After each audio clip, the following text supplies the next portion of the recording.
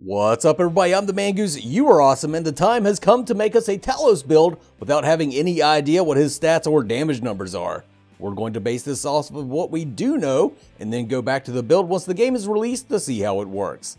From what we know of Talos' kit is that he's going to be a bruiser tank that thrives in the thick of team fights. With that in mind, I'm going to try to make a build that takes advantage of Talos' passive and active abilities to wreak havoc while debuffing the enemy team, with the option to peace out if things get a little too rough for our liking. I'm making this build with solo lane in mind.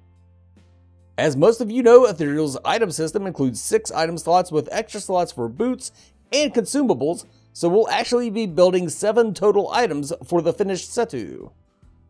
First up, we're going to go with Reinforced Boots. This will give us 60 movement speed, 25 armor, and 100 health. This passive will boost our movement speed by 10% when we haven't taken damage for 10 seconds. Talos doesn't have much in the way of an engage outside of his ultimate, so the extra movement speed will let us get all up once before people can properly react. Our first item is Parhelian's Havoc. No idea if I'm saying that right. An axe that gives us 40 physical power, 10 physical pen, and 10% cooldown reduction. I want this early to give us a boost to our wave clear and some bully potential. While this is our first item, it's kind of what the entire build is centered around. Talos has some big physical damage AoE attacks, and the Plate Shredder passive on this item will let us debuff a ton of targets at once. Second item is Berserker's Shield. As I mentioned in the Iran build video, this seems like a must for any type of bruiser myth. It gives us 50 armor, 300 health, and 30 power. The Vanguard's Rage passive provides us with power and attack speed while above 50% health. Dipping below 50% converts that speed and power to armor and health regen. I think it's pretty self-explanatory as to why any melee bruiser would want this. The next item's build order kinda depends on your Scavenging Huntsman passive. I have it as number 3, but that's uh, probably a bit optimistic. Harvey's backplated chest guard gives you 60 armor, 30 magic resist, and it converts 5% of your armor and magic resist into physical power. With Scavenging Huntsman passively providing Talos with increased protections, this thing will probably be an auto include in any type of Talos build you do. Next slot is a bit of a flex slot. I think most of the time I would take Quartering's Edge. This gives us 40 physical power, 24 physical pen, and the passive applies a debuff to enemy health and shield regen. This type of item is usually a must-have in any MOBA. However, if no one is building lifesteal or something crazy like that, you may want to look into some of the other axes. Our fifth pick is Amulet of the Ancients.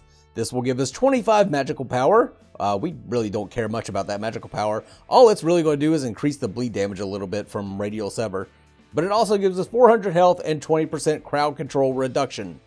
The passive, called Ancient Salvation, activates when you dip below 30% health. You spread roots in a 150 unit area that root enemies and heals you for 2.5% of your max health for each enemy hit by the roots.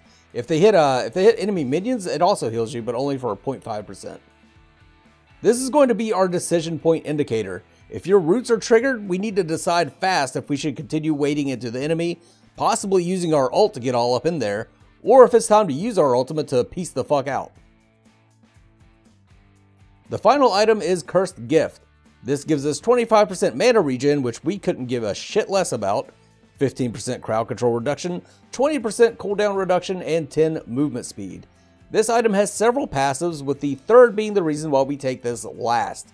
The Golden Requiem passive gives you increased passive gold gain at the cost of halved economy from lane and jungle minion kills. We do not want this in the early game. What we do want are the other two passives in the late game. Eldritch Boon gives all allies around us 10 mana regen, 10 health regen, and 13 movement speed. Cursed Presence gives all enemies around us minus 15 armor and minus 15 magic resist. We'll be in the mix spreading Plate Shredder and decreasing the health regen anyway, so why not fuck the enemy team over just a little bit more? And that's my possible Talos build. Some of the weaknesses I see are that we don't have much magic resist, so this build may get blown up by mages until we can get our passive to max stacks. We also don't have much persistence, so we'll be susceptible to crowd control. Let me know what you guys think of the build. Tell me what you would change and how you would build Talos. Be sure to check out JellyKnee's website, ethereum.gg. He's been working hard on creating a myth builder that will make all of this so much easier.